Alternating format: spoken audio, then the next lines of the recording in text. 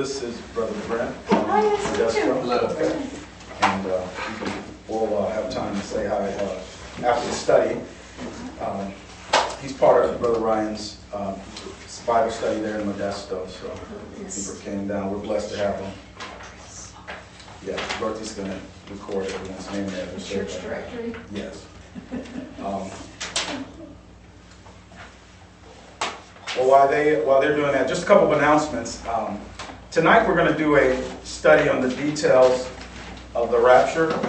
Um, This was a question that came up from a dear brother in the Lord and his, and his fiancee, who's uh, new to the grace message.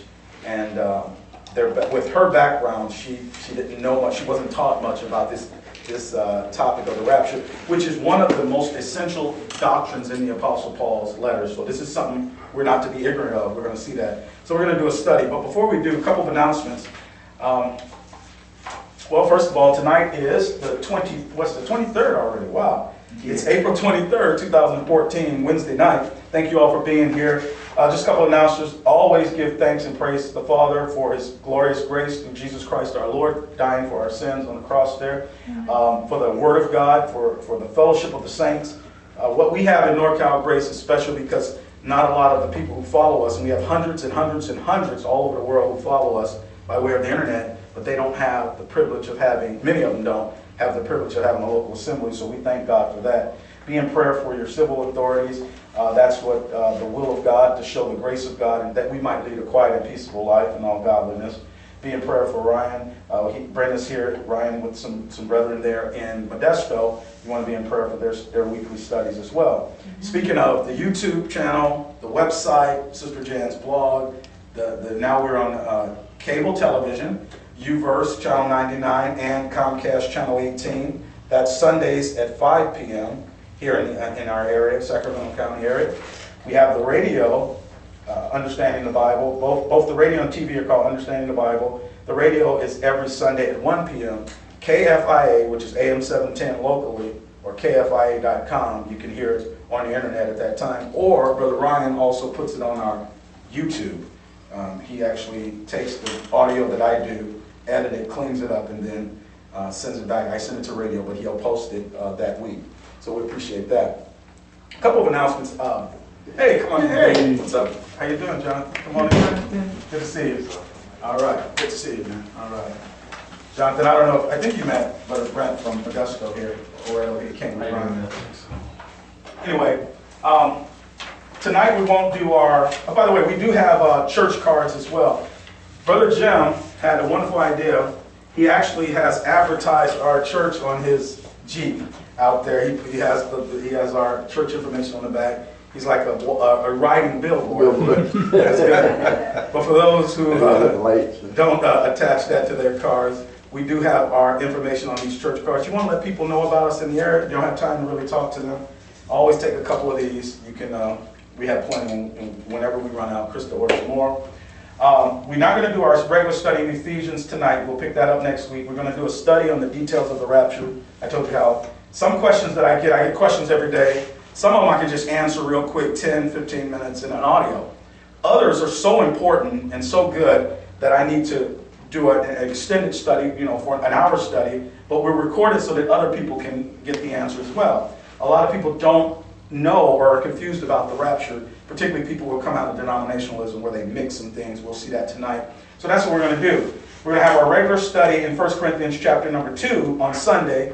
We did a, a study on the origins of Easter last Sunday, and um, that has been a, a, hit. People have been telling me they appreciate us doing that study. Folks, have, some, some people have uh, looked at it multiple times. One lady said she looked at it three times already. So it, it is a. Uh, I decided to do that and record it so that you know down the line, if people want to know, we'll have a video already in our on our YouTube to uh, answer that question each year. I don't have to go through it every year. Just say check that out.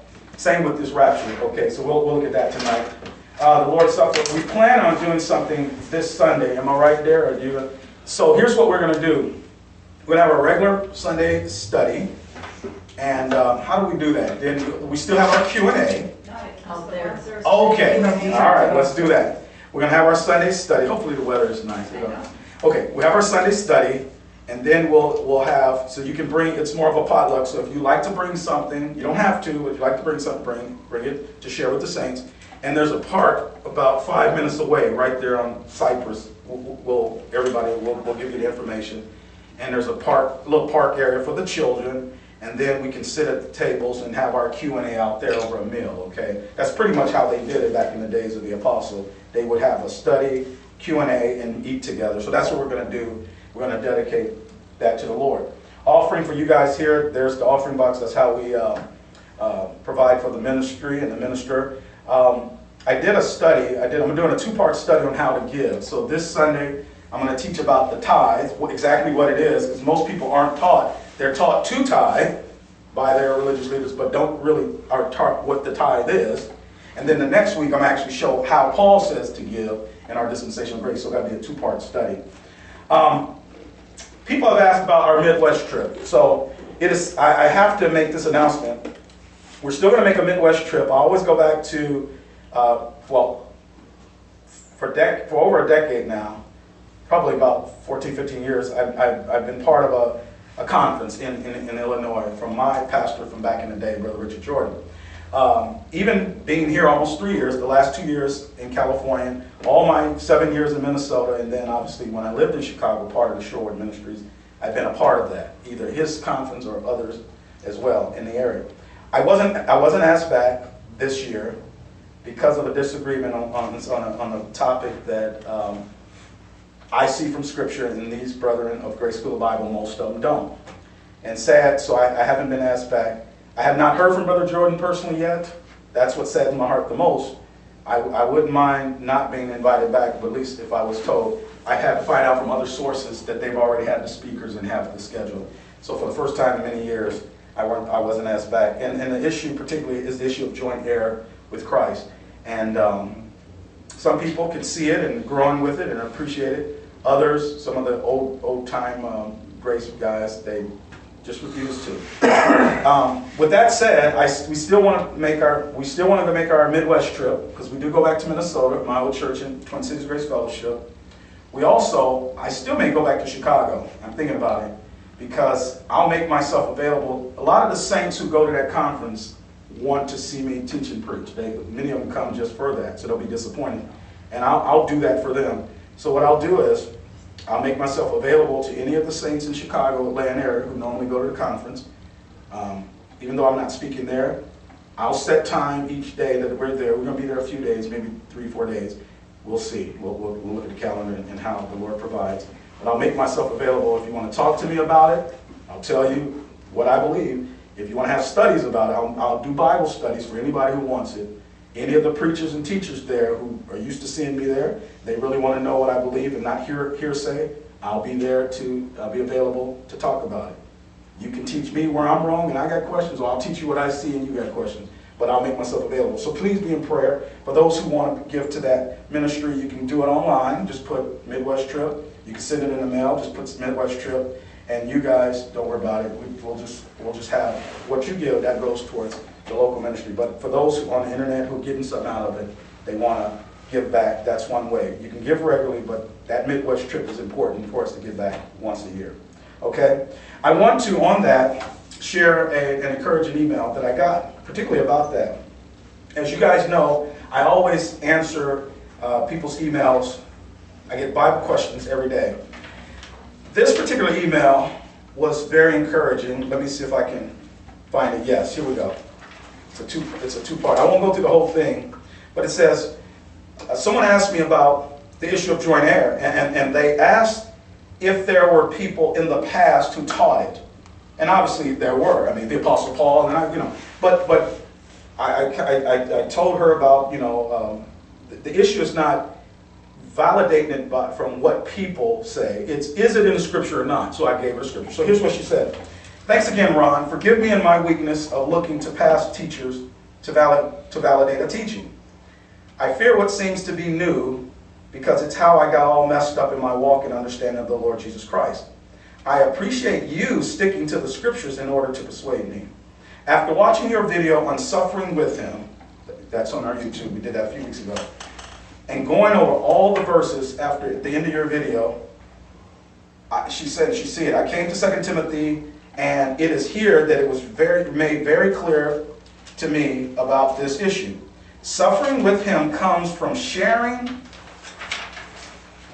the teaching of the truth, which is the truth that you hold dear because it gives you life. And this truth being rejected is what the afflictions and rejection is all about. So she understands it's the truth and being rejected for the truth. In essence, I stand for truth, and the brethren at the conference now are rejecting me. But I understand the issue. I'm willing to suffer and take that as part of the suffering for the truth. And no, no higher truth in Paul's epistles is this issue of joint heir and judgment seat.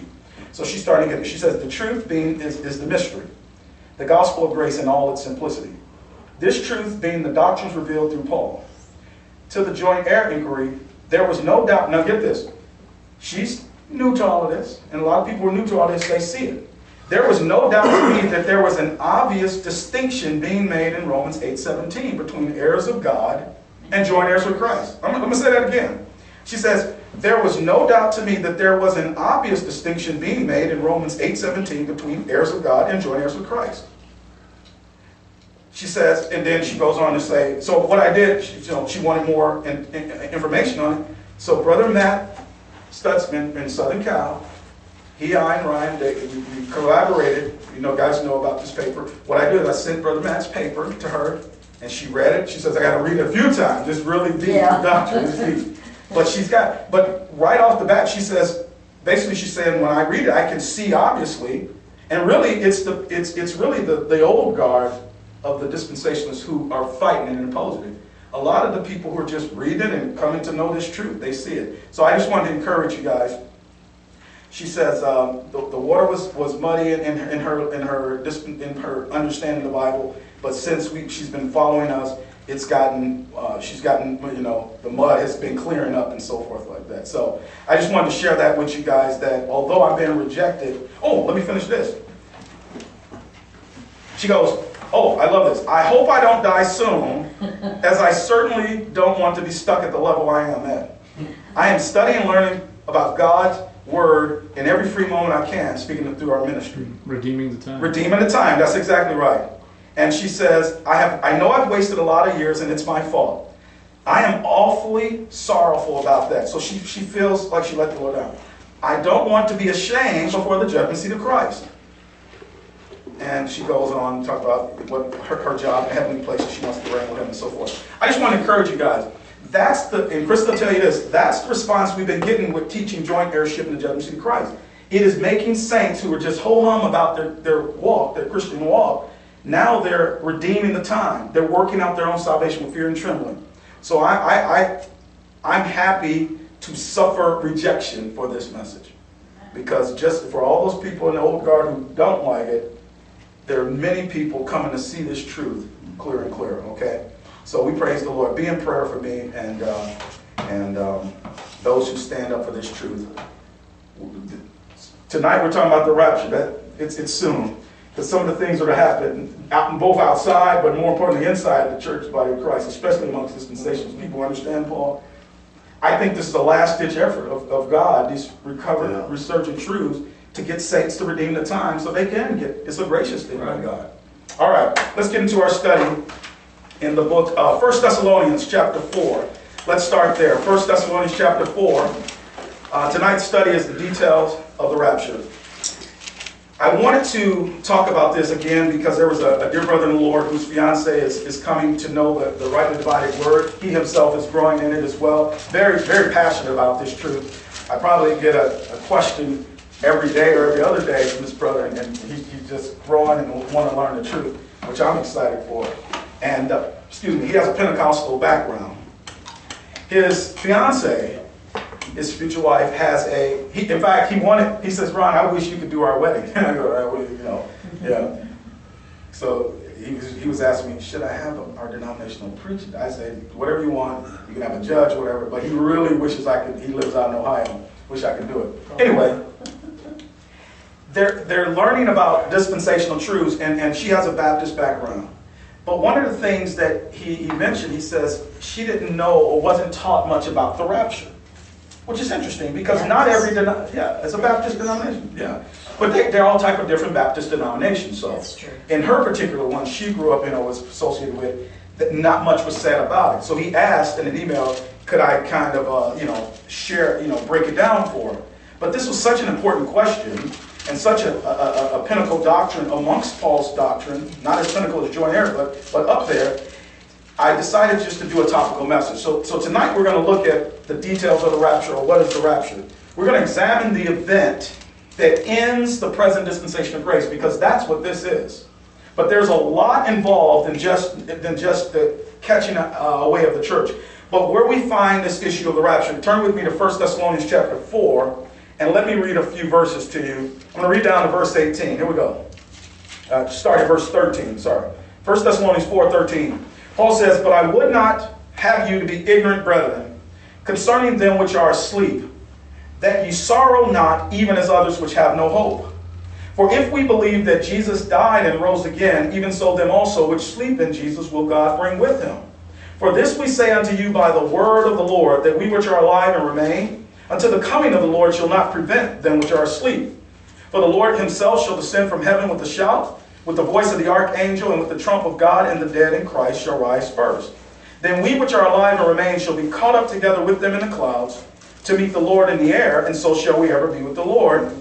Wherefore comfort one another with these words. Now, even as I read that, you guys can see the sense of what the Apostle Paul is, is saying, but we're going to break it down, this passage, another passage from 1 Corinthians 15 and others. But what I want you to see is that this issue of rapture, you know, before I do, look at verse 13. This is interesting. Verse 13, but I would not have you to be what? Yeah. Ignorant brethren. And, and that issue of ignorant brethren, Paul uses that terminology six times in, in his script in, in his epistles. And, and, and when he says, I would not have you to be ignorant, many times most of the body of Christ are ignorant of these six things. So I'm going to lay them out for you just, just for, for your own uh, edification, real quick. When Paul says, I would not have you to be ignorant, so don't be, don't ignore these things, okay? Ignorant, don't be ignorant brethren. Now, he says that terminology, ignorant brethren, ignorant brethren, six times.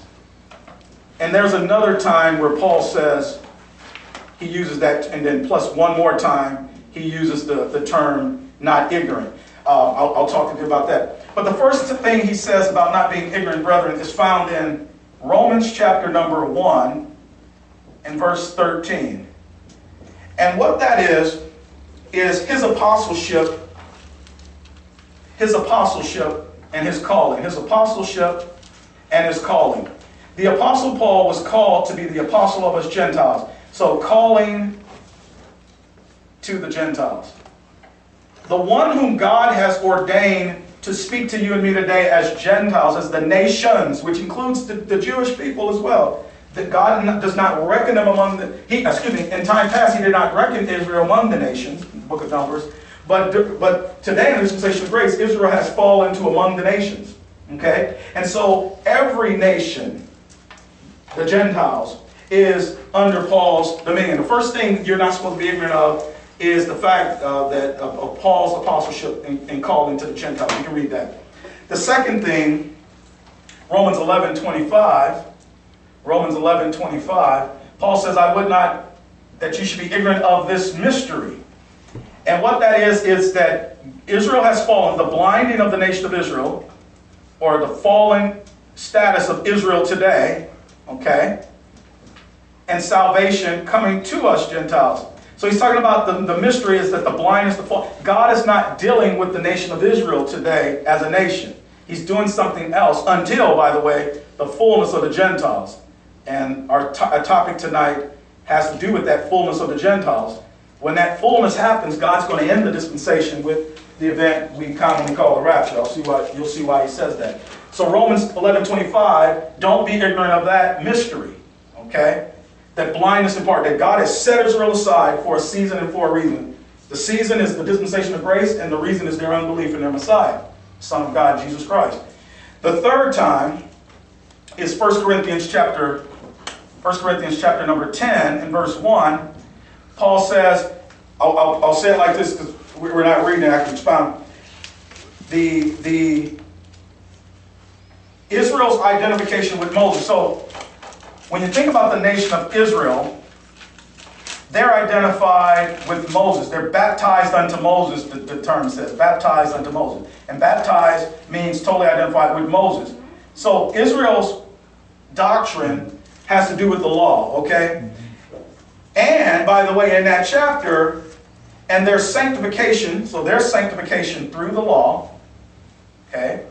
And another thing, as I read that today again, it's it's so that we can learn, we can learn, we the body can learn from their mistakes. We can see God's attitude towards sin, although we're not under law, we're under grace. We can learn from the Old, from the Old Testament.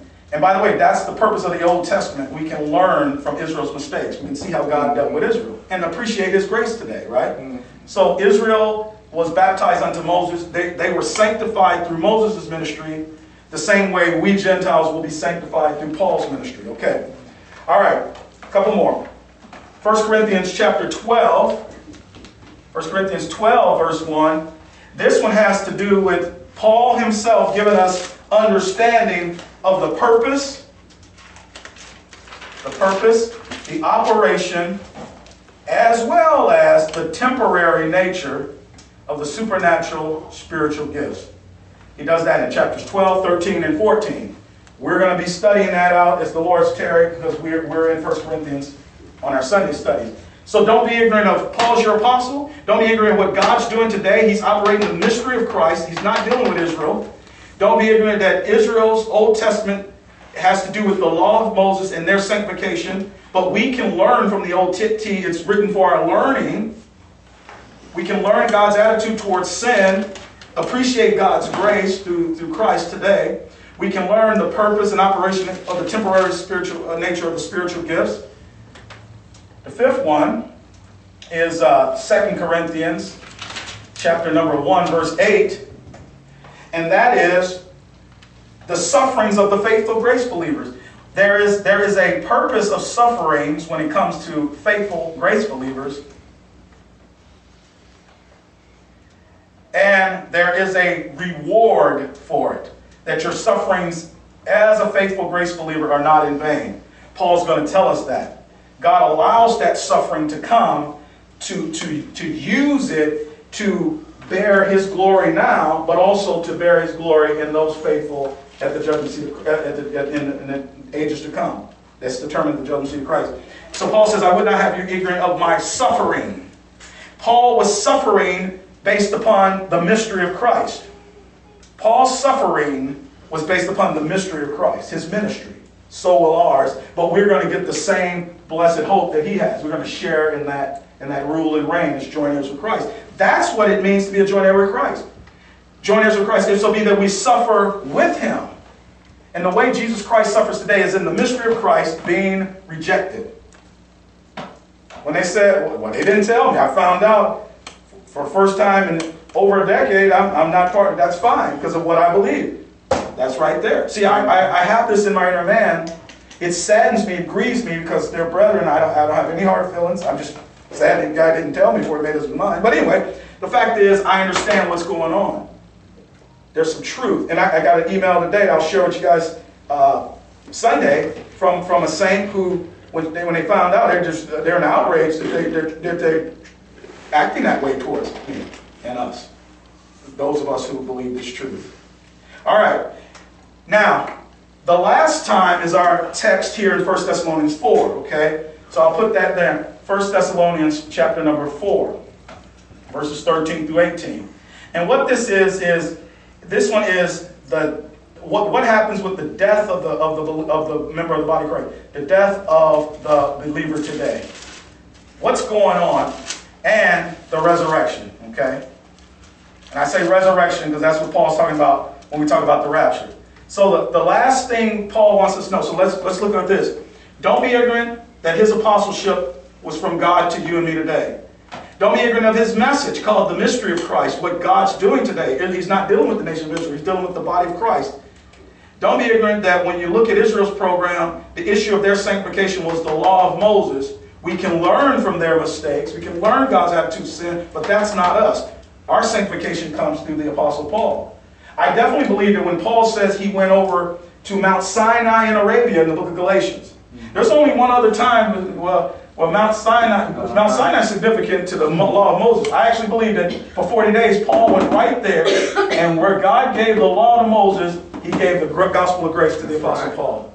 That's just me. I believe that. All right. So that's what's going on there. 1 Corinthians 12, he had to teach the saints about the, the, the purpose and, and operation nature of, of the gifts. Uh, 2 Corinthians 1, you're going to suffer if you are faithful to the mystery. That's a fact. But it's suffering that leads to glory at the judgment seat of Christ. Okay? And then the, the sixth one is when, uh, when a believer dies, it's not the same type of death that a lost person and, and, their, and their loved ones have to endure and experience. There's something different going on. We have a different mindset when a believer dies. Okay? And we know we're going to see them again. There's a resurrection where we're going to be reunited. Now, the seventh one, I'll just add this seventh one. He doesn't use the term ignorant brother. He says, we're not ignorant of his devices. But his devices is talking about Satan. And that's in 2 Corinthians chapter 2. Did I put my, uh, my thing? Yeah, verse 11. And what that all about, you can read it on your own time. Paul had to kick out a guy in 1 Corinthians 5 for having his father's wife, and that, that leaven of carnalism and lasciviousness was affecting the entire church. He said, put him out. I delivered him unto Satan. Well, they went from one extreme to the other. They allowed him in there, wouldn't do, deal with him. Then they kicked him out, like Paul says. But when it was time to bring him back into the fold, rest, restore him to the saints, because Satan wants you to be on your own. Satan doesn't want you to have other people to be around. And that's what the device was. It was that it was the, the to, to break fellowship. To break fellowship. To have them in such extremes that, check this out, extremes, whichever extreme. The first extreme, 1 Corinthians 5, was have them have that leaven inside there, yeah. Have it there. Let, let it leaven the whole lump. Whether it's religious leaven, the Galatians, or lasciviousness of the Corinthians. Whatever leaven, just let it fester, get everybody.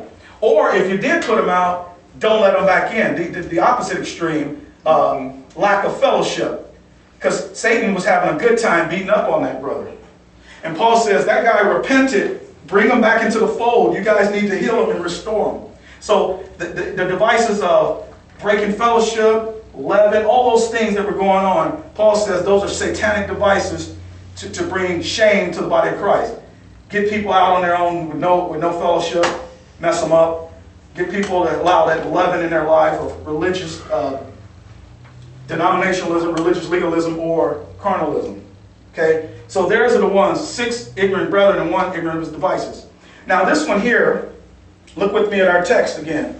Look at 1 Thessalonians chapter 4, verse 13.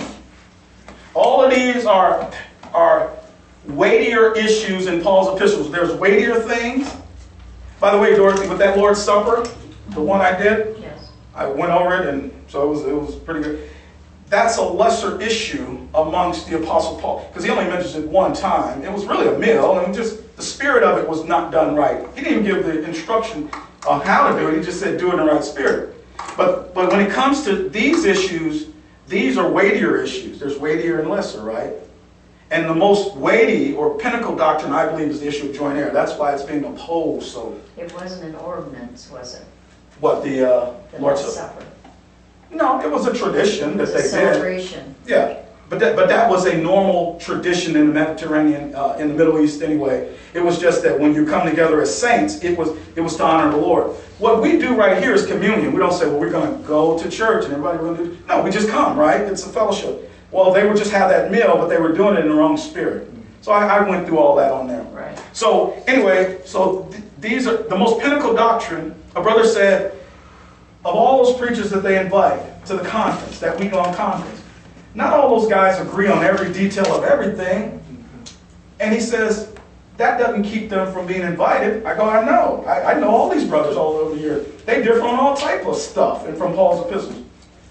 So the guy says, well, why would they not because of this? I said, because it's the pinnacle doctrine, the issue of being a joint heir and the judgment seat of Christ.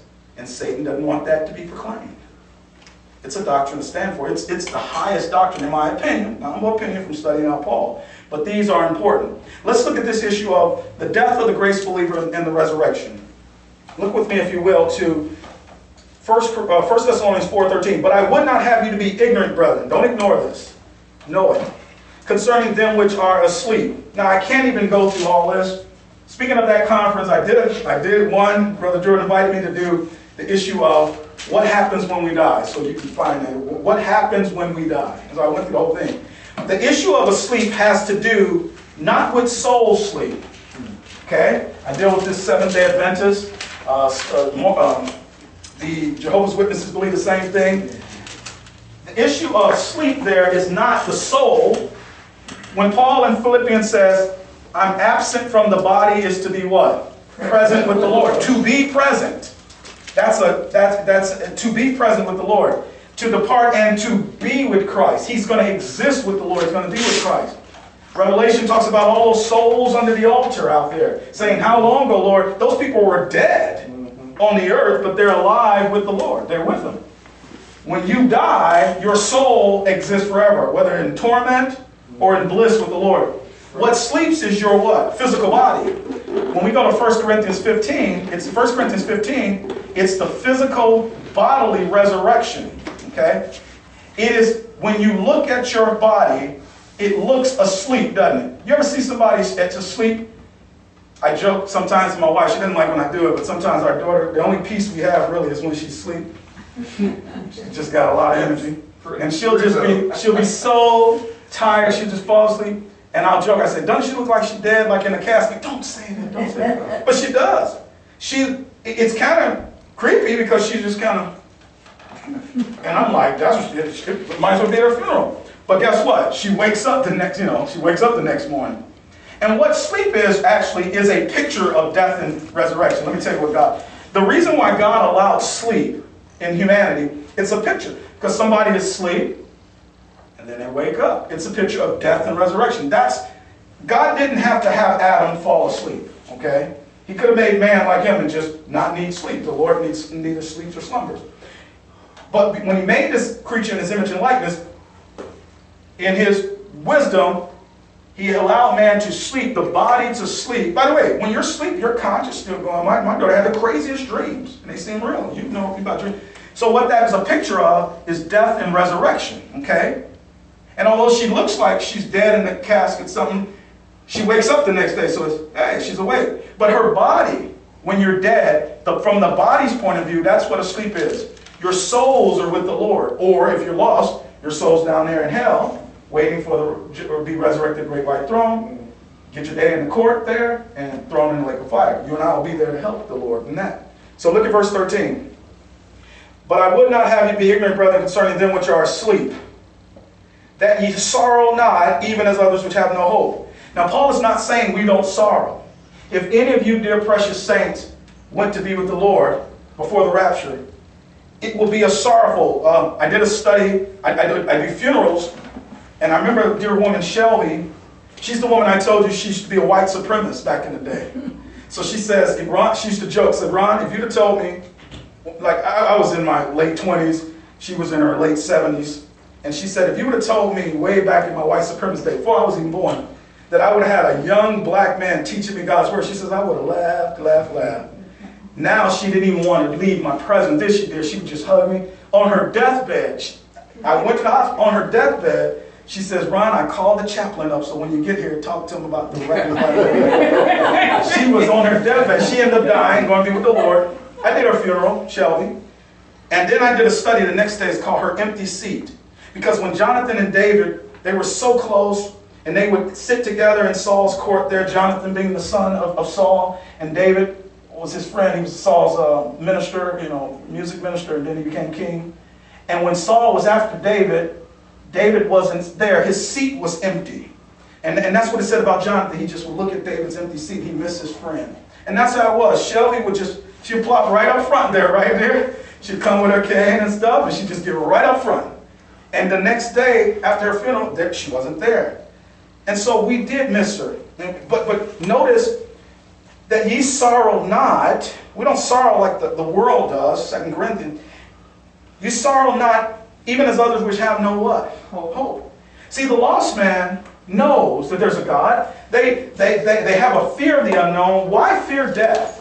Because they have a fear of the unknown, but they know there's something on the other side. They can deny it. They can pretend like it doesn't. But why, why is it when somebody gets hurt in an accident, they're on their deathbed, their whole family, oh, we want you to get healed. But after they die, well, they're in a better place. That's just something they say to comfort themselves. They really fear death.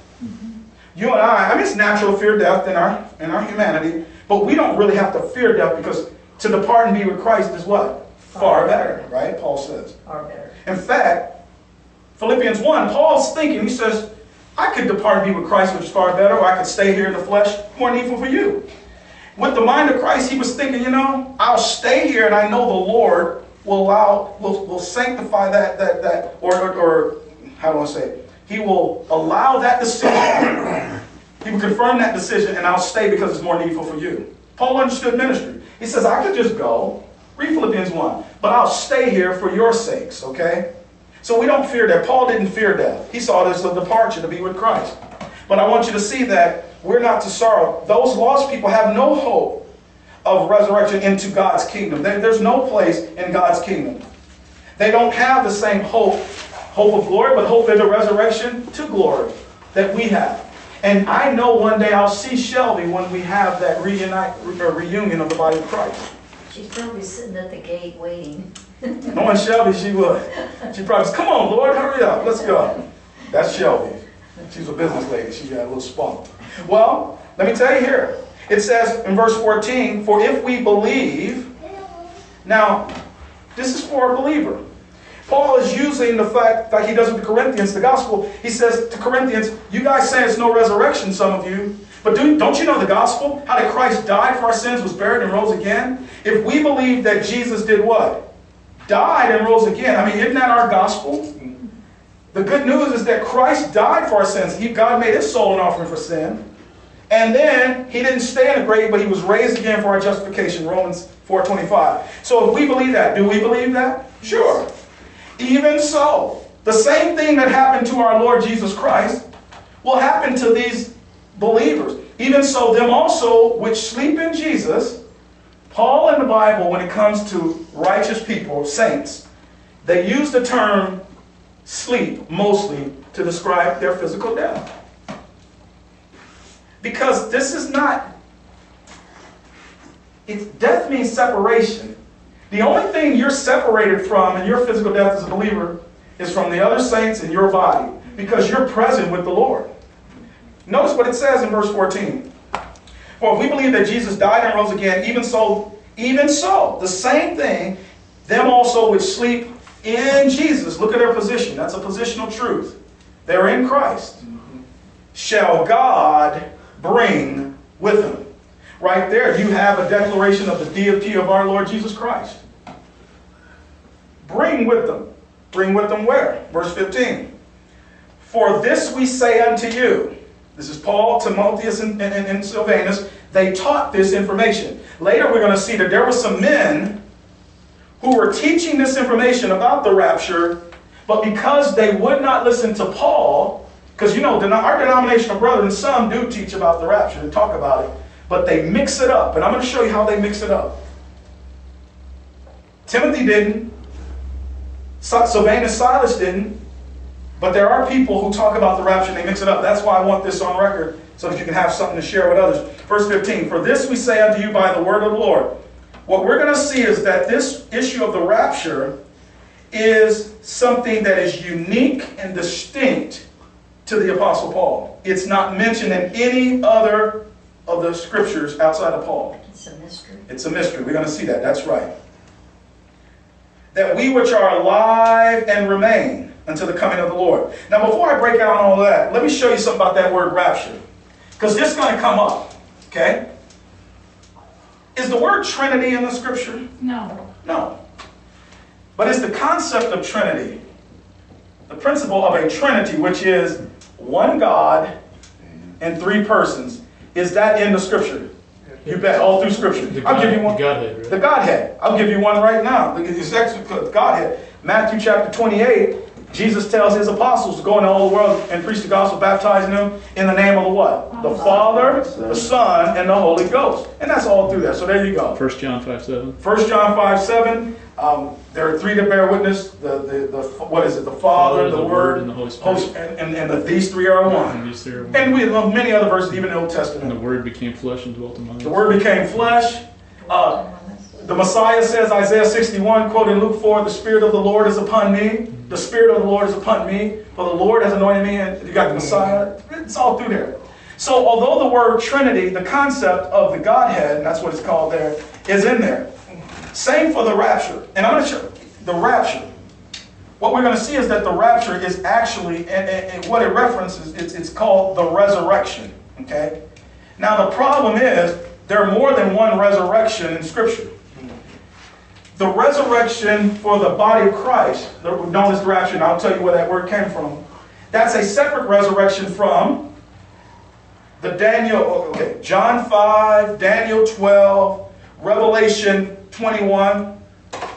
There's all these, let me make sure it's Revelation 21, Revelation 20. Yeah. Revelation 20. So Daniel 12, you can, you can check on your own time. Daniel 12, John 5, the Lord talks about it, John 5, and Revelation 20 all talk about the resurrections. But they're prophetic resurrections for the nation of Israel and so forth. There's the, the first resurrection and the second, okay? Called the one for the just and the unjust. Think of Daniel 12 is called they which have done good to everlasting uh, glory and righteousness, and they have done uh, evil to everlasting contempt. But in prophecy, there's a resurrection that happens for the Old Testament saint and, and, the, and the nation of Israel at the return of Jesus Christ to the earth in prophecy Day of Atonement, right. the Day of Atonement for the nation of Israel. Then there's a thousand year first installment of his eternal kingdom where Satan is in the bottomless pit. He's dealing with the Gentiles under the law. Israel has their new covenant fulfilled. Then there's a second resurrection of the unjust, okay? That's different from the resurrection Paul's going to talk about. Go with me, if you will, to 2 Timothy 2. Very important passage here in 2 Timothy 2. So when it talk, comes to the rapture, understand that what the rapture is in reference to is the, re, the, the resurrection of the body of Christ. Here's what Paul says about it. There, there are guys who were teaching about this rapture and this resurrection, but because they didn't rightly divide it, they weren't listening to Paul, they were mixing it up, and I'm going to show you what happens when you mix it up. I'll, I'll show you a couple of verses people use today to mix it up in a minute too. Look at 2 Thessalon, uh, 2 Timothy 2. 2 Timothy 2, Verse number 16. Uh, Well, look at verse 15. Study to show thyself approved unto God in view of the judgment seat. A workman that needeth not to be ashamed, about this judgment seat, rightly what? Dividing the word of truth. All of God's word is true, but you have to rightly divide it. Prophecy from mystery, law from grace, Israel from the body, Moses from Paul, all these things. The, the heavenly program from the earthly program. What these guys, they talk, now watch what Paul says here. Verse 16, but shun and profane and vain babblings. These are things that aren't according to the godliness message of the Apostle Paul. For they will increase unto more ungodliness. And their word, so there's going to be some folks speaking words. Their word will eat us doth the canker. That canker or cancer just eats at the body, right? Well, there's doctrinal leaven as well, error, that will just eat up the body of Christ and destroy it. Well, notice the Galatians were dealing with that. They were, they were allowing the law principles to eat up the body of Christ. Watch this. He, he says, he says, if you bite and devour one another. Watch this. Verse number 17. He, he mentions two men in each of these chapters of first of Second Timothy. All four chapters he mentions a couple of men. Here he mentions Hymenaeus and Philetus. These were two preachers. They're saved men of whom is Hymenaeus and Philetus, who concerning the truth have erred. So there was a truth that they were talking about, and that truth was the resurrection of the body of Christ. Who concerning the truth have what? Erred by saying, their word, that the resurrection is what? Past. Already, and when you when you say stuff like that, you do what? You overthrow the faith of some, not all. Because some people are going to hear you talking about it and be like, That's not how Paul teaches that. But many, that's why I'm doing this message, aren't sure or haven't been taught. And it overthrows the faith of some. Because what they did is they spoke about the resurrection of the body of Christ, commonly called the rapture today, but they didn't rightly divide it. They, they didn't put it in its proper context dispensationally. Mm-hmm. Dispensational error. Dispensational error, and that's the main error of denominationalism and religion. where religion. they got that from. They just didn't listen to Paul. Their pride, pride will do that. Okay, so here's what we're going to see about the issue of the resurrection, commonly called the rapture. We're about to see that. That it's that it's a mystery, gi- give, only revealed to Paul. We'll see that. That it is pre-tribulation. See, they were mixing it. I, I, I guarantee you, they they got it wrong, and they were putting it where it shouldn't be in the wrath of God. The pre, what happens after the actual resurrection of the body of Christ. Pre-tribulation. They still do. They still do. Pre-wrath, just so you'll know. Pre-prophecy. What I mean by that is before God starts his prophetic clock again with Israel. All of this. Well, he came up with it before he even started it in the first place. Exactly. This is all part of the mystery, right? That God came up with before he did anything. And in that mystery of Christ given to Paul, this issue of the resurrection of the body of Christ, the thing that ends the dispensation of grace, the fullness of the Gentiles become in, that's the issue. Now, where did this word rapture come from? Let me show you something about that.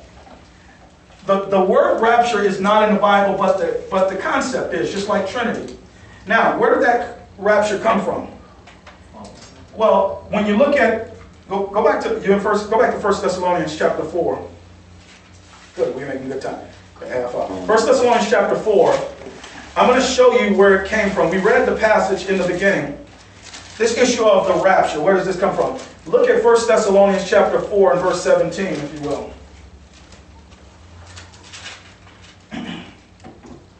Notice what it says. Then we which are alive and remain shall be, you see that word caught up? Yeah. All right. Many of you are familiar. Caught up. Now, I don't like going into Greek unless it, you know, builds up God's word. Some people go to tear down God's word, say really it should be this, or to, you know, show us smart. No. the Greek word for that, though, has to do with a, a word, uh, harpazo, okay? I'm just letting you know just why I'm going there. Because there's the Greek word, but that's not the word that's, that's used harpazo, which, which means to take by force in Matthew 11, take by force, catch away. The Lord talks about the thief comes to take away that which, the, the enemy comes to take away that which was sold, take, catch away. Uh, John 10, they can't pluck you out of my hands. The Spirit of God caught away Philip in Acts 8, 39. The soldiers took Paul by force, took him by force in Acts 20. It means to take by force, to, to, car- to carry off. But that's not the word. It's, it's a Latin word, okay? A Latin word. It's called rep. It's a different, different word, but rapturo. Rapturo, that's the most common way of saying. That's a Latin word. It means to seize and carry off. To seize and carry off like this. Now that doesn't that's not the same as Second Thessalonians. Sometimes people see Paul talks about the falling away, and they'll say, well, that's got to be the rapture. No, no, no, that's prophetic. He's talking about the falling away of Israel in Hebrews. To fall away, they fall this way. A rapture is to caught up, to seize and carry off upwards, or you know, pull away, not fall, but like to seize and carry off. Okay. And so it's the Latin part. So I, I, I said to myself, well, why would they then just start calling it rapture? Well, here's what I believe. It was kind of dicey, it's just Latin. Um, probably it's got some Roman Catholicism involved. Sure, it's it's either out of the old Latin or The old Latin, or the yeah. Latin Vulgate. Or of Latin it. Vulgate. Right. But I can see what, what was what was going on there. They're trying to make a distinction because Paul calls it the resurrection. Okay? But because there's more than one resurrection in Scripture, Yeah. to distinguish this resurrection, the one for the body of Christ, That makes sense. from the others, the, the, the nation of Israel here, and uh, the lost of all the ages at the end of the kingdom, if you're going to say resurrection, you got to ask which resurrection. So it was just a convenience now to just say the rapture. Probably the same reason why they call the judgment seat of Christ the bema seat sometimes, right? Yeah. Similar. Well, to, good point. Right. You hear people use that Greek word bema seat, right? which I understand they're trying, uh, there you go, they're trying, I, I hope they're trying to distinguish it between the other judgments, the judgment of Israel, the judgment of the nations, and so forth. So they'll say Bema seat so you can know, oh, that's the one here, the one that the rapture is going to take us to. Hmm. Someone asked me what, where the, where it was found in scripture, the Bema. Well, it's, the- it's the Greek word behind I know, judgment. but I didn't have an answer at that point. By the way, Bema seat's mentioned 10 times in your King James Bible. 10 is associated with that judgment. Okay. All right, let's keep going. So that's so for, for, for convenience sake, the rapture is used, that Latin word, rapture, to distinguish the resurrection of the body of Christ from other resurrections. At least that's how I'm going to use it, okay? Now, let's look at some other things about the rapture. The issue of the rapture, it's, I'm going to tell you what it is and what it's not, okay? We got a half an hour, so here, just, just stick with me. It's known as the resurrection. That's what it's called of the body of Christ, 2 Timothy 2.18. We saw that.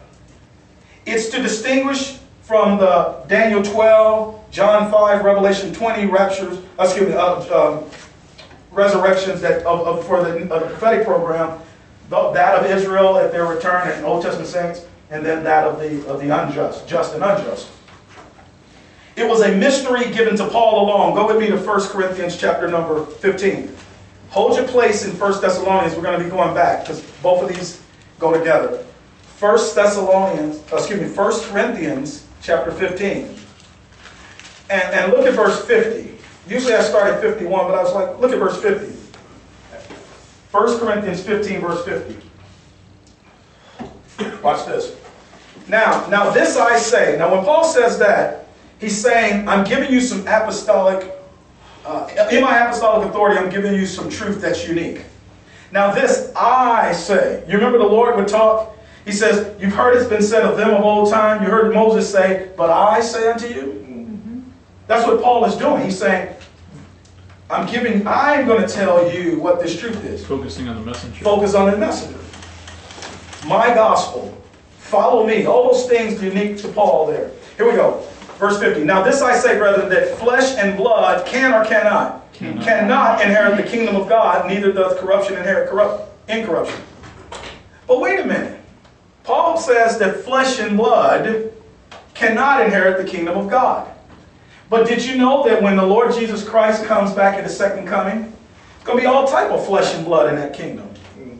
Some of the Jews, the ones who aren't resurrected, they just kind of go in there. They're going to have children. They're going to multiply. Seed of Abraham forever. The, all the Gentile nations that survive the, the, the, the, this time out here, it's not going to really affect California and the United States. It's in the Middle East. But you understand, there are going to be all type of flesh and blood there. The sheep and goat judgment of Matthew 25, 31 on down. He's mm-hmm. going to say, going to gather everybody, come and come ye blessed of my Father. So what does Paul mean in verse 50 that flesh and blood cannot inherit the kingdom of God? Is is the inheritance. No, they're going to inherit. Read Matthew 25, it says, Come ye blessed of my Father, inherit the kingdom from the foundation of earth. Okay? No. Obviously, he's not talking about the kingdom of God down here on the earth. Paul is talking unique to the kingdom of God where? The heavenly kingdom. Because think about this. The, one of the things that's going to happen at the rapture is we're going to get new bodies. Flesh and bone. I'll throw, I'll throw this at you. No, no, that's good. You're right on. When I say that, that's a good, that's a good term. Not throwing as an evil. That's a new concept that you've taught. It's not the Iraqi throwing a shoe at the president. This means, girl, that's what I'm talking about. Yes, the Lord Jesus Christ's body, what did he tell his disciples, his apostles? A spirit hath not flesh and bone as you see me have, right? Mm-hmm. The Lord, in his resurrection body, he no longer needed the blood because the life of the human flesh today is in the what? Blood. Right. But do you need blood? You don't need blood to be in the heavenly places. No. So his resurrection body, he had that blood, so he didn't shed his blood. Yeah. But in his in his new resurrection body, he's flesh and bone. He tells Thomas, looks like this, but it's flesh and bone. It's like a new species of human. It's a new species of human, a new, uh, yeah, it's a new body. Celestial. Yes, it's a body, body select. So that's what Paul is talking about. This is the type of body. Philippians 3, Paul says, For our conversation is in heaven, verse 19 through 21, uh, one, Citizenship. Right? From whence also we look for the Savior, the Lord Jesus Christ, who shall what? Change our vile bodies, that it might be fashioned like unto his glorious body. Mm-hmm. Ephesians 5, we're bone of his bone, flesh of his flesh. So when Paul says flesh and blood cannot inherit the kingdom of God, the heavenly kingdom, that's what he's talking about in context.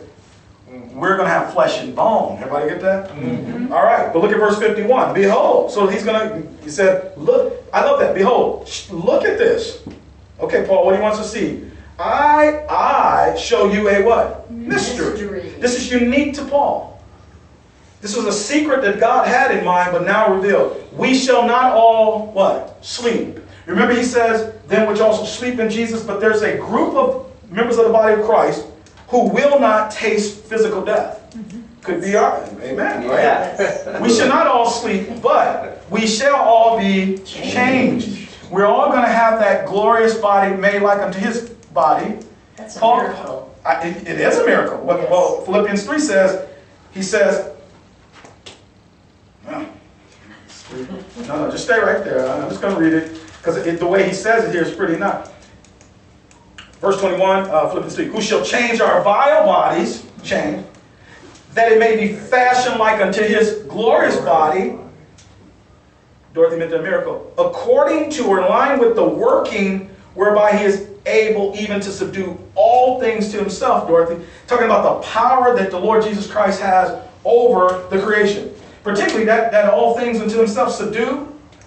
What he's saying in there is also the bodies that we will have will have the. I, I, I got to go through the detail when we get to 1 Corinthians 3. After the judgment seat of Christ, each of our bodies will be will bear glory based upon what we've what we've earned at the, the issue of being the joint heir to what we've earned in faithfulness down here. Just like in military, you can look at you can see five men with military uniforms, and if you knew military uniforms, you could say his authority, oh, he's just a private. That's a four-star general. You know, he's an officer. Our bodies will bear that type of glory because joint heirs will reign with Christ. All the rest of the heirs of God will be in his heavenly kingdom. One lady says, I wouldn't mind, you know, cleaning up after the horses in the stable. I said, but if you believe in this stuff, you want me doing that, you're going to be in rulership position as a joint heir. Rule and reign. Now that position has to be done. So those who are in Christ and they they weren't faithful to the mi- mystery now, the Lord will determine where they do. And maybe there are going to be some who have that. They'll be in the kingdom, but they're every name that is named. Ephesians one. All right. In, So that, uh, in the military analogy of yours, it's like the gold, silver, and precious stones are like the medals and stuff. The medals and and then the things, position yeah. of reigning is the is the rank. I got it. I got a whole list of that I, for our Philipp- for our for our uh, 1 Corinthians three study. I was crazy enough to think that I would get all get to all that the last time. Anyway, yeah, I broke all that down, so it should be an interesting study. That subdue is also subduing the powers, principalities, thrones, dominions, mights, all that stuff too. Yeah, and it's in the context of the Ephesians 1. He's going to use members of the body of Christ. Mhm. Particularly, that's what that's one of the reasons why we we need those types of bodies to to do those positions as well. Yeah. The Lord Jesus Christ needed that new body, still has the prints of Calvary and so forth, because as he sits as head of the heaven and earth on earth, the, the head planet in God's overall creation is earth. So Jesus Christ himself was sit. Command But center. The command center. But he has all other types of plans and things that Jesus Christ ru- rules and reigns over. But if he physically down here, which he is, he's, he's in a physical body, one body with the whole, he's going to be down here on the earth. He was promised to Abraham's seed. So how will Jesus Christ rule over his entire creation? Would he like the angels? No, Are would they, be, are they different than our new bodies? Yes, angels don't have flesh or bone. Angels are spirit, Spirit. great question. Angels are spirit beings who make his angels, uh, uh, his ministers a, a spirit and angels flame of fire. But the Hebrews- spirit doesn't have a body. No, spirits do have body. Spiritual What body. kind? Spiritual body.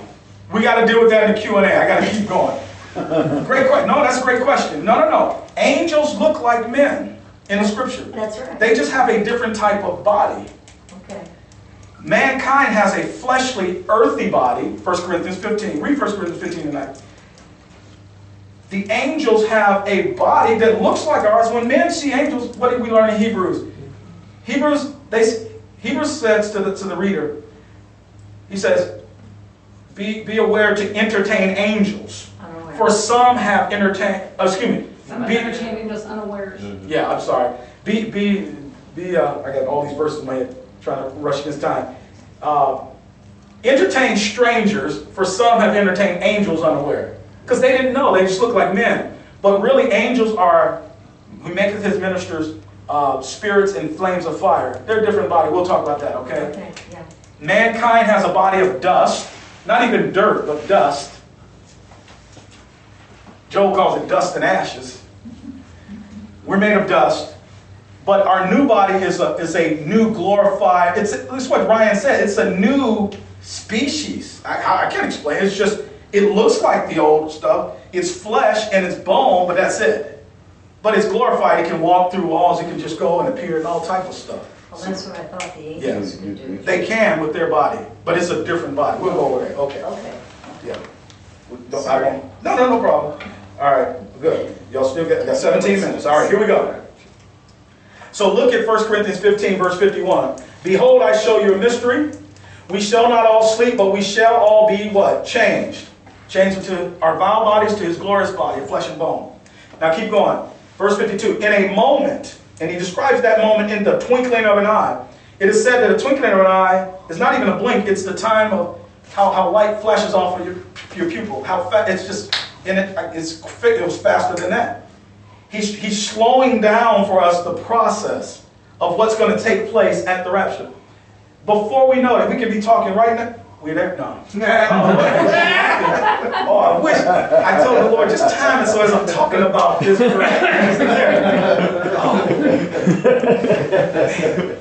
In a twinkling of an eye, the time it takes the light to to uh, bounce off your eye. Hold up, we still gotta get the video out to YouTube. We ain't worried about them if the rapture happens. That's they on their own, man. They'll have it, Ryan, because when they come in here, they're like, "What's this?" You know, somebody will get it. No, we, we don't worry about nobody after the rapture. Get- No, we love people. Ryan and I are gonna get a. If, if, if, if we're not here, if you if you were left behind, we're gonna give them a. We got a God's grace. We're I'm gonna tell them what to do. behind. I'm not gonna be left behind. Not you. Dorothy, you're saved. You're in Christ. I- we're, Ryan and I said it for the, for- to be gracious to people, we may just record a nice little half hour video, what to do if you miss the rapture. Because I can tell them what to do out here. Yeah, Yeah. that's a graciousness. We don't have to do it. There's We already a don't it. video called uh, Rightly Dividing the Rapture that kind of answers that on our YouTube Yeah. channel. So Yeah. Do not open until the rapture. Well, yeah, no, everybody here, and most people listen to me, I guess this is somebody new. If you know for sure you have eternal life through the blood of Christ, you're going to be at this rapture, the resurrection. Amen. All right, so verse 52. In a moment, in twinkling of an eye. Now, by the way, at the last trump. Now, some other versions, and then people, when they read that, even amongst dispensationalists, which is weird, they read it, they will read the, the word as trumpet, mm-hmm. Right. which is the craziest thing, because what does that say? Trump. At the last trump. Trump. And just so you know that Paul knows the difference between a trump and a trumpet, look at the next one. For the what? Trumpet shall sound. So in one verse, Paul uses two terms. He knows what he means. He says the last trump, okay, for the trumpet shall sound. So Paul's not confused between a trump and a trumpet. People are. Hold your hand here, and let me show you something from, uh, go back to 1 Thessalonians 4. I'm going to explain what this issue of the trump and the trumpet. 1 Thessalonians chapter 4. I'm going to go down verse 15, 16, 17, and so forth. Stick with me about this trump. By the way, let me say this in case we get cut off because we got 15 minutes. It has nothing to do with the trumpets in Revelation chapter number, what was my Revelation uh, verse? Uh, the ones in Revelation. It's nothing to do with the, the trumpets in Revelation 8, okay? Gotta rightly divide that. Those are trumpets that are synonymous or connected to the seven years. The seven trumpets are to the seven years of the tribulation period, okay? Each year of the tribulation tr- period, something's going to happen on the Feast of Trumpets, I believe, because he blows his trumpet. So it's going to begin, this the seventh, the, the, the it's going to begin the, the tribulation, and each year this angel will sound, the first angel will sound his trumpet, the second. It is all associated with prophecy, the wrath of God, okay? All right? So these, this trumpet, trumpet, and this trump is associated with the mystery. Let's look at it. 1 Thessalonians 4, verse number 16. Well, let me go down to verse 15. For this we say unto you by the word of the Lord. The Lord Jesus Christ gave Paul this information. Sometimes he gave Paul specific information, sometimes he didn't. First Corinthians, they asked him questions that the Lord didn't directly reveal to Paul, but he used the mind of Christ, his understanding from the word of God's grace to give them, and he'll say, This I command not the Lord, but is scripture. He'll say, The Lord really didn't tell me this, but I give you one as one who is who is uh, worthy, is faithful in the Lord, who's uh, worthy. It's scripture, okay? Paul gives his opinion. The. Holy Spirit ratified it as scripture. Exactly. So, but this one, th- what he's about to say, the Lord told him this. That, verse 15, that we which are alive and remain unto the what? Coming of the Lord. So the rapture is the coming of the Lord. He's going to come out of heaven. Whoa, right here. Shall not prevent. That word prevent, that's, that's that old English word that has to do with, um, how do I say, it, it, it means to come before or precede Yeah, Pre-event. pre-event, yeah, to, to come before. That same Greek word is used in the Bible, in the scripture as to come or to attain. We won't come before or attain something before the, the, those who are dead. He's saying we shall not, like, like Ryan said, to pre, pre-event, to proceed or come before. This is going to be something that's going to happen, but the, the people who died first, technically they're going to be involved first. Well, watch this, watch this. We got to go back to 1 Corinthians because their bodies and then our bodies. Okay, here, keep going. Here we go. Shall not prevent or go before them which are asleep, those who had already died. Four, further explanation, verse 16. For the Lord himself, personal attention, doesn't send an angel. He sent, he comes, the Lord Jesus Christ gets off his throne in the heavens, the third heaven, and comes down for his body with an with a, with a escort of an, angels, by the way. Okay, here we go. For the Lord Himself shall descend from heaven with a shout. Can't even go into all that. The shout is the shout of a conquering king. The shout of war. Uh, this rapture is a declaration of war to the earth. Take the ambassadors out of the country, right? Taking the ambassadors out, like any good good. Uh, when you when one country declares war on another, if they have ambassadors there, they recall their ambassadors first. Then they put a declaration of war. God has been holding back his wrath and war, judgment make war, Revelation 19:11, for a couple thousand years. But one day he's going to end that and he's going to declare war on the world that declared war on him. The world declared war on God, Acts 4. Why did the heathen rage and the people imagine? Psalm 2. I'm just going through this fast, sorry. But the world was at war with God. Instead of pouring out his wrath when Christ came down, Christ came down, saved the chief of sinners, poured out his grace and peace, right? Declaration of grace and peace, mercy. But when God ends this, that shout is a shout of proclamation of war. For us to come home. Yeah. Well, it's a lot of things. Us coming home, but it's also for the world to say, hey, here comes the wrath. All right? Verse 16. With the voice of the archangel. Now, the only archangel actually mentioned in Scripture is Michael. You can make a case for Gabriel, and there's other archangels mentioned in other spurious type of stuff. This most likely they're, I believe they're the seven spirits of, of, of, of, of Almighty God in Revelation who stand before the Lord. Okay? But the fact is, the one who I think this one is, although he's not named, is the one who is the captain of the Lord's host in heaven, and that is Michael. When warfare is done, Revelation 12, Michael, his angels fight against the dragon, his angels. So I believe Michael, and that God, what our Lord is doing is getting a military escort through the heavenly places down to the earth. Interesting enough, we believe that Ryan and I were talking, just speculating, that's all it is, and that that when, when, when Christ came, he met Paul at noon there on the road to Damascus in the Middle East. Brighter than the noonday sun. Brighter, brighter than the noonday sun, that light. So that will probably be the same place that we all go up. Where it began is where it probably ends. Interesting enough, there's going to be some. Well, let's look at this. I, I got a little theory on this too. You can take it or leave it. For the Lord himself shall descend from heaven with a shout, with the voice of the archangel, which I believe is Michael and his angels, and with the trump of God. Notice that's the trump of God, right? Not trumpet, trump. All right, we have 10 minutes. Even in Jerusalem, it's two in the morning here too. Oh yeah, that's right. So it's gonna be at night. Ryan will still be up. I'm gonna be in the bed. He's a night owl. I'm a morning bird. Make sure you give me. If you call. extend it to about six or five in the morning, Lord, then uh, yeah. All right. So here he says the trump of God. So just let me get this on here. Trump of God. So this trump is the trump of God. It's going to be a sound that God himself makes. So that's going to be the Lord Jesus. Over in 1 Corinthians, he says, so look at 1 Corinthians. Look at 1 Corinthians 15 again. Verse 52. So it has nothing to do with the Revelation 8's last trump, the seventh trump, none of that. There's two trumps. One trump and two trumps. Verse 52.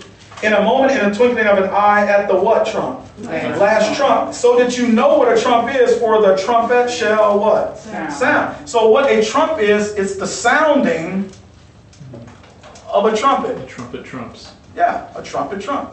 We had a brother in the Lord. He was a trumpeter for the, is that the right word, trumpeter? He played the trumpet for the University of Minnesota in college. So when he read that, he, he was like, oh yeah, that's where it is. That's exactly what we do. He was a trumpet player. He says when you blow in a trump, that sound is called the trump. So there's a trump of God, and then there's a last trump. Now, if there's a last trump, it's okay and reasonable to assume that there's a first trump. So, without going through a lot of detail, because I did this, when in Israel, when the trumpet sounded for battle, or when, when God moved the Israelites through the wilderness, he had them blow the trumpet twice. One was to gather, and the other was to move, okay? Then they moved the tabernacle and so forth. They're moving in their wanderings. And so what's going to happen is, notice here in chapter number 15, verse 52, In a moment it took me by the last trump, for the trumpet shall sound, and the dead shall be raised what? Incorruptible. So at the first trump, the dead in Christ, over in 1 Thessalonians 4, shall rise what? First. Everybody got that? Yep. So the first blowing of that trumpet, the dead, the dead shall be raised incorruptible, or 1 Thessalonians, Paul says, the dead in Christ shall rise first. Over in 1 Thessalonians, he says, then we which are alive and remain shall be caught up. So the dead comes first, and then those who are alive, if it happens right now, that'd be us, we come second, okay? The dead in Christ shall rise first, then we which are alive remain shall be caught up. All right, t- together, oh, oh, let's finish reading this. Sorry about that. My time. Verse number 52. For the trumpet shall sound, and the dead shall be raised incorruptible, and we shall be what? Changed. For, verse 53, this corruptible, that's that dead body in the grave of that saint, like Shelby. We, we, we, we, we buried her. Or did we have a, did she have a cremation? She went to crematory, sorry. She didn't want to waste no money. She's like, it's just my dust. Anyway, so her little urn gone up. Not the urn, but the, her, her dust. Her dust. Because this corruptible must put on incorruption. Must. Verse 53. And this mortal, now what the word mortal means? Subject to death, right? Mm-hmm. That's you and me. We're mortals. We're subject to death. We must put on immortality. When we get our new body of flesh and bone, we won't die. Verse 54. So when this corruptible shall have put on incorruption, those are the dead bodies of the saints who already passed, and this mortal shall have put on immortality, that's us when the rapture happens if we're alive, then shall be brought to pass the same that is written, death is swallowed up in what? Victory. That's when we'll have the victory over death. Until then, death is the ultimate dis-ease. You know what a disease is? It disses your ease. That's what it does. man, why you dissing me, man? That's what sin and death does. It disses your ease. You sitting at ease, and sin and death just mess everything up. Takes loved ones, just it mess everything up. One day, no more of those diseases, even the worst disease, death. Okay? Amen. Maybe that day will be today. Death is swallowed up. Oh, when I talk about, oh boy, when I talk about Jonah, somebody asked about the three days, three nights, so I have to do that one. I- Maybe I'll just do a study at home and send it around and put up, because the Jonah swallowed up and stuff. What the well represents is, is, is death in Scripture. It's always there, hardly seen. God mentions it in Genesis 1, the only animal he mentions by name, the whale. Leviathan, that one? something like that? But no, just with the whale, the size of his mouth and so forth. A whale represents death, how it's just there. Hardly see it, but it, it exists. and it swallowed up Jonah. I, I get all of that when I do the three days, three nights in the whale's belly. Anyway, let's keep going. I got to end. All right. I'm just saying, God created a whale to show death, how it just swallows up. What's going to happen at the rapture is death is going to be swallowed up. Ryan was telling us how big a whale, a whale's tongue wouldn't fit in this It's bigger than an elephant. uh, Yeah. blue- yeah, blue- So, so what I'm saying is, maybe I got to do that one day. Tell you why, why I believe God created a whale. The biggest animal on the earth. It's the, it's the most dominating animal. Although it's not seen, it's in the cover of under the waters, but it's the most massive thing. It represents death. biggest animal that's, that's ever been on the earth. Yeah, ever. Yeah. And, and when, when it comes to man, the thing that has messed up man from the beginning is death. And that's what the whale represents. But what victory in Christ does, it swallows up even that. In the end, by the way, death and hell will be what? Thrown in a lake of fire. All right, we got to end. So let's, let's do this real quick. Um, go back to First Thessalonians. I will give you some verses. I'm going to sum up some verses that people use to confuse the rapture. I'll just go real quick after I finish this. So go back to 1 Thessalonians 4, verse 16. For the Lord himself shall descend from heaven with a shout, with the voice of the archangel, and with the trump of God, and the dead in Christ shall rise first. See that? So at the first sounding of that trumpet, the dead, the incorruptible, will rise. Their bodies. Their physical bodies will. Their bodies will. All right? Physical bodily resurrection, 1 Corinthians 15. Verse 17 of 1 Thessalonians 4. Then we which are alive and remain shall be caught up. There's the rapture.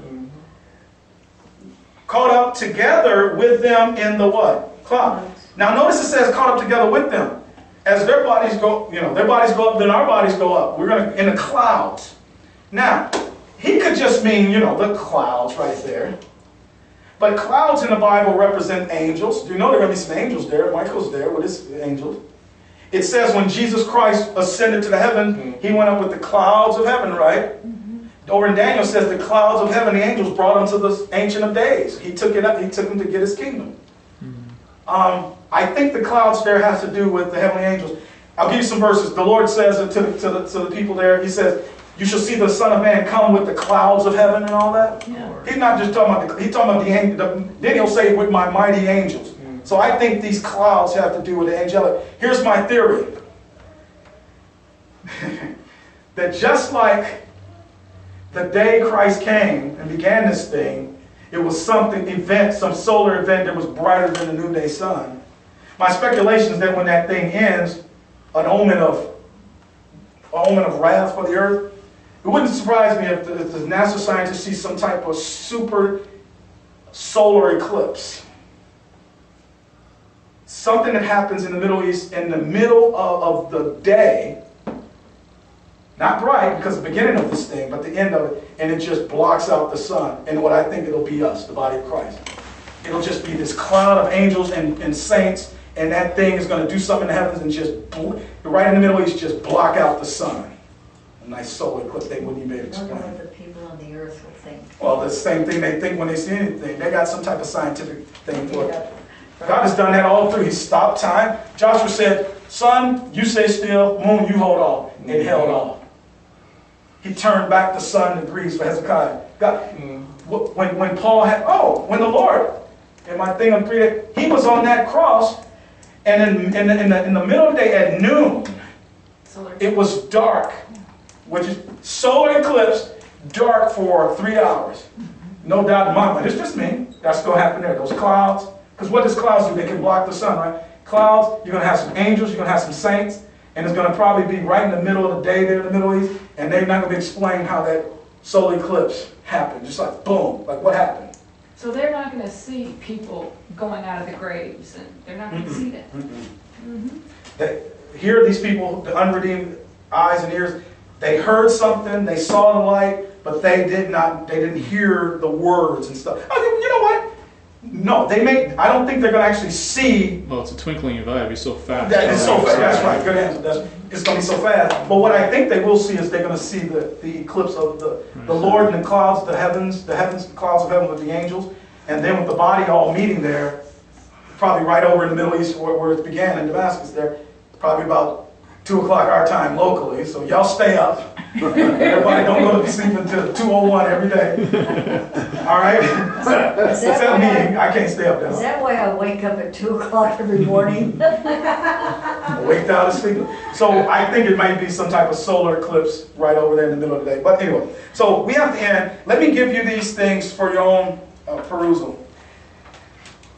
Ma- Matthew 24, 36 through 41, and Luke 17, 26 through 37 are commonly used as the rapture by those who don't rightly divide. It's the one that says when one is taken and another is left, two men are a, a milling, uh, you know, uh, grinding at the mill, two women are grinding, They're one shall be taken. the rapture? No, no, but these are verses used.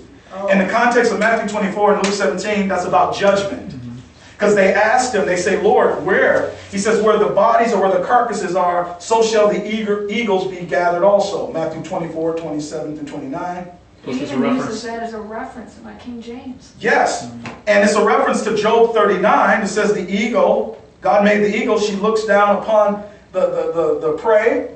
Where the slain are, so the eagles be. Isaiah 56, 9, Jeremiah 12, 9, Ezekiel 39 talks about God's going to make a feast for the birds. Yeah.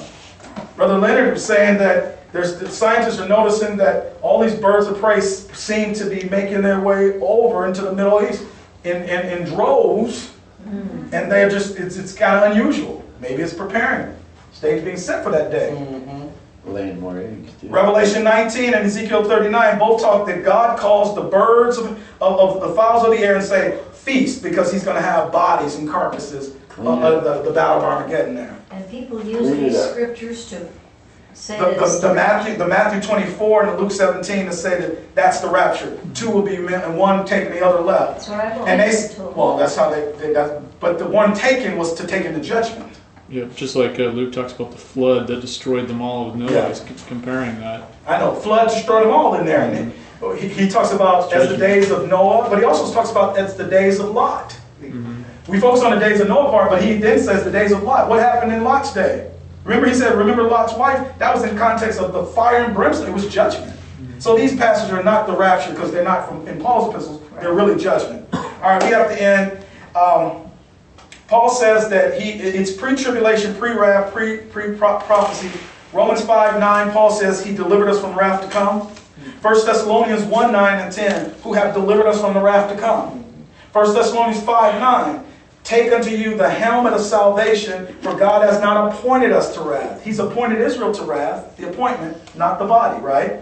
Amen. Baptism of fire for them, right? baptism of fire for them. That's why he would even resurrect people in Israel's prayer. Why did, why did Christ just raise people from the dead? They have to go through that. They're appointed to wrath. Yeah. Just like with Enoch, you guys don't mind, right? Just like with Enoch, pre Abraham, Enoch, here comes the wrath, the flood. Hmm. But Enoch is taken out. He's translated before the flood when his son Methuselah died, right? When, it, when Methuselah's name is when, when he dies, it shall come. That's what Methuselah means. Methuselah, who lived longer than any other man, 969 years, when he died, the flood came. Enoch was translated out before the, before the wrath, but Noah went through it, right? And pre-Abraham, Enoch represents, I think, the body of Christ. Just like Adam and Eve represent uh, the body of Christ, Ephesians 5. And then Noah represents the little flock who go through the ark, go through the wrath, right?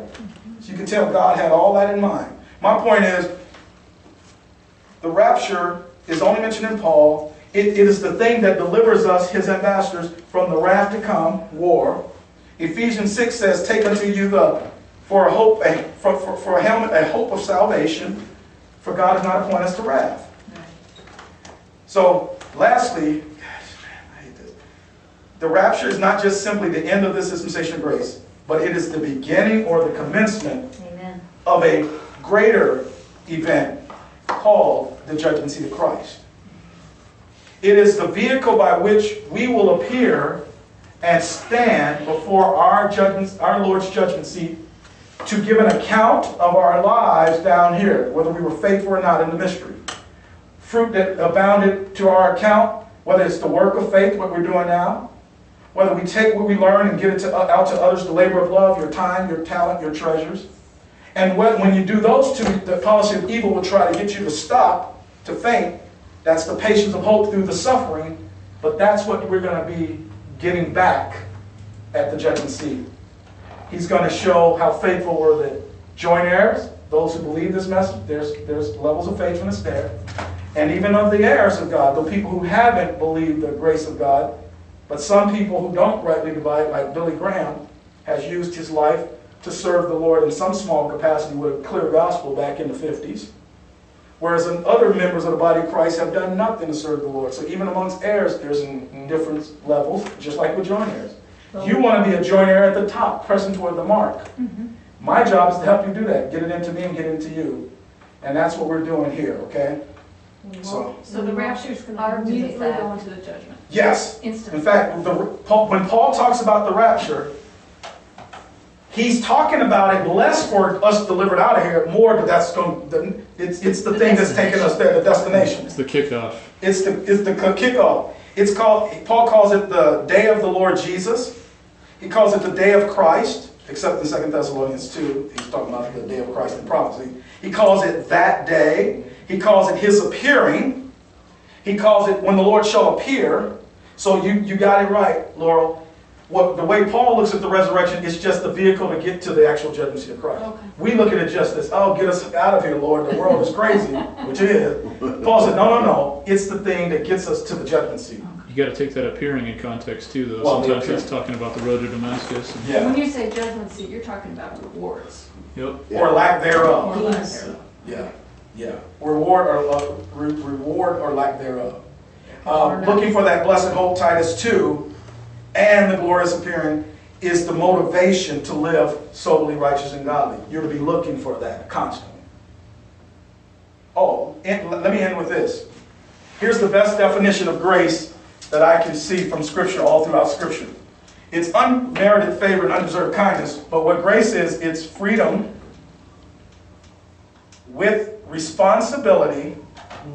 Okay? Did God create Adam, Adam and give him responsibility? You bet. And accountability or consequences. Because even when God dealt graciously with Adam, he says, You can eat of all the trees of the garden, right? But of one tree, the tree of the knowledge of good and evil, thou shalt not eat of it. For in the day, so Adam, I give you freedom to do whatever you want, except one thing test his faithfulness. Because Adam's going to rule over the, the, the angelic. He is right. He has to show faithfulness to be God's regent. And Adam, with that freedom, you can have it all. Just don't eat that one tree. And if you eat that one tree, what's going to happen? Thou shalt surely die. Accountability, consequences. That's what grace is. And the grace of God today, God gives us freedom, but with responsibility to be faithful in this mystery. And the consequence comes out of the judgment seat of Christ. Were you faithful to this information? Yea, Lord. How faithful? The Lord will tell you. Were you not faithful? The Lord will tell you. Okay? My job is to make it that we all get our full reward. I want all of us to reign together. Let me end with this.